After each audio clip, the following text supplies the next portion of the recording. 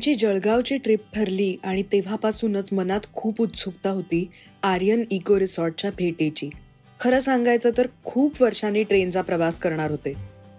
पण अवधूत आणि अनिरुद्ध सोबत गप्पा मारता मारता जळगाव कधी आलं ते कळलंही नाही. पोचल्यावर मात्र रात्री सुग्रास जेवणावर ताव मारला आणि गाढ झोपलो. दुसऱ्या दिवशी पक्ष्यांच्या किलबिलाटाने जाग आली आणि बाहेर आलो त्यावेळेस आपण हिरवाईने नटलेल्या एका सुंदर जागी आलोत. हे पहिल्यांदा डोळ्यांना जाणवलं.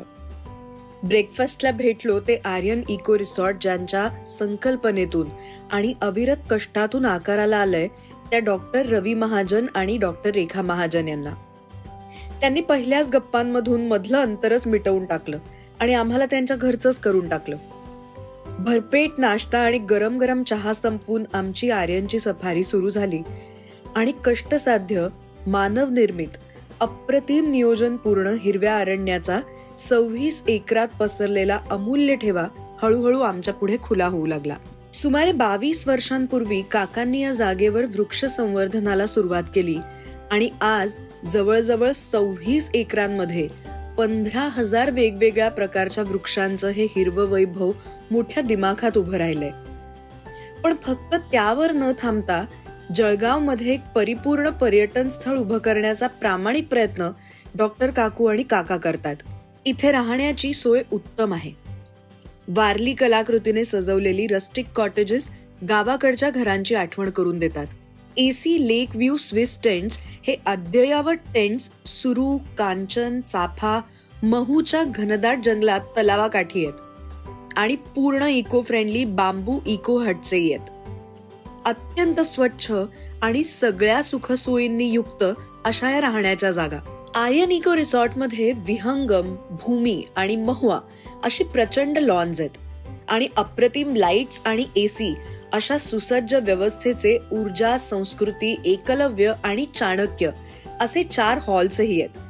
त्यामुळे लग्न कौटुंबिक सण समारंभ कॉन्फरन्सेस कार्यशाळा फोटोशूट्स सांस्कृतिक कार्यक्रम अशा वेगवेगळ्या जागांसाठी आर्यनमध्ये उत्तम सोय होऊ शकते. इथल्या प्रशिक्षित निसर्ग मित्रांसोबत तुम्हाला पक्षी निरीक्षणाची रंगीबेरंगी फुलपाखरांची दुनिया अनुभवण्याची सुद्धा संधी आहे.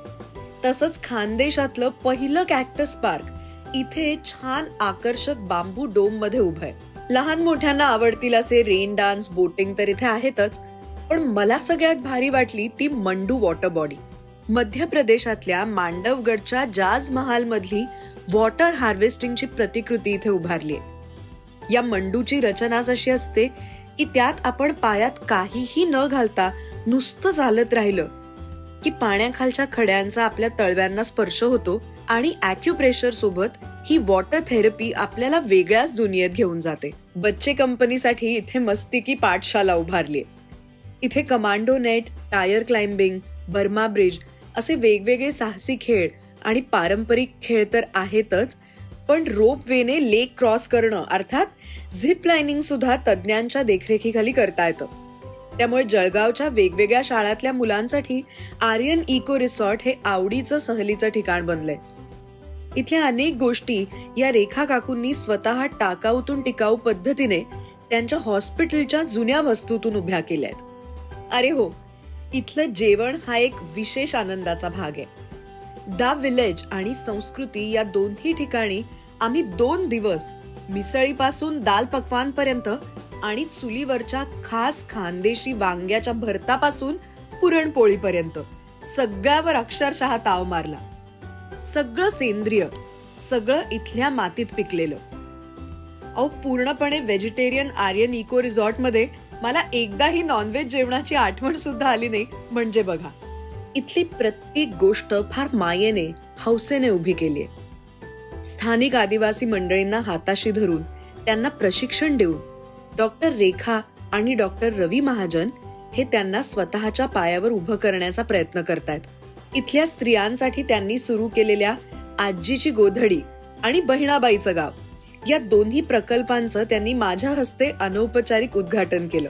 बहिणाबाईंवर मराठी कवितांवर प्रेम करणारी माणसं तर इथे स्वतःला हरवून बसतीलच. पण आपली जुनी गावं कशी होती? बारा बलुतेदार पद्धती कशी होती? हरवून गेलेली स्वयंपूर्ण गाव संस्कृती कशी होती? अशा अनेक प्रश्नांची उत्तरं इथल्या छोटेखानी वस्तू संग्रहालयातून नवीन पिढीला नक्की मिळतील. बाकी काका काकूंच्या कार्याची डिटेल्ड माहिती सांगणारा खजिनाचा विशेष भाग तुम्ही पाहिला असेलच. आणि हो नसेल पाहिला तर लगेच पाहून टाका. आर्यन इको रिसॉर्ट मधले हे दोन दिवस कसे गेले आम्हाला अक्षरशः कळलं नाही. भरपेट जेवण अतिशय सुंदर हवा स्वच्छ हवा आणि मनमोकळा प्रेम करणारी माणसं. त्यांच्या सहवासात या झाडा झुडपांविषयी इथल्या सगळ्या नवीन गोष्टींविषयी इथल्या संस्कृतीविषयी इतक्या नव्या नव्या गोष्टी जाणून घेता आल्या. आणि मला वाटतं आमच्या भटकंतीचा हाच खरं तर उद्देश आहे. दुसरं काही नाही. या निमित्ताने एक वेगळी जागा बघता आली इथल्या वेगवेगळ्या माणसांना भेटता आलं. ही या भटकंती मागची सगळ्यात मोठी उपलब्धी आहे. By the way Aryan eco resort बद्दलची सगळी माहिती गुगल कोऑर्डिनेट्स लिंक्स इथल्या सगळ्या वैशिष्ट्यांबद्दलची सगळी माहिती खाली डिस्क्रिप्शन बॉक्समध्ये लिहिलेली आहे. जर तुम्हाला वाटलं आणि जर वाटलं नाहीच इथे याच आणि इथला हा सुंदर अनुभव घ्याच. तुम्हाला आम्हाला जर का संपर्क साधायचा असेल आणि तुमच्या रिसॉर्टमध्ये तुमच्या रेस्टॉरंटमध्ये आम्हाला इन्व्हाइट करायचं असेल तर in Spruha Joshi at Gmail dot com वरती आम्हाला नक्की मेल करा. तुमच्या प्रतिक्रियांच्या नेहमीच आम्ही प्रतीक्षेत असतो. हा एपिसोड कसा वाटला मला खाली कमेंट बॉक्समध्ये कळवायला अजिबात विसरू नका. आणि हो अशा एखाद्या टूर वरती अशा भटकंतीवरती तुम्हाला माझ्यासोबत यायला आवडेल का?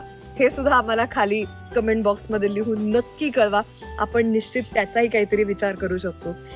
जाता जाता नेहमीच पुन्हा एकदा बेल आयकन वरती क्लिक करा. म्हणजे आम्ही जे नवीन व्हिडिओज ह्या चॅनलवरती अपलोड करतो त्याचं नोटिफिकेशन तुम्हाला लगेच मिळत राहील. आत्ता मी इथेच थांबणार आहे. सो तुर्ता टाटा बाय बाय नमस्कार. पुन्हा भेटूया पुढच्या भागात. C you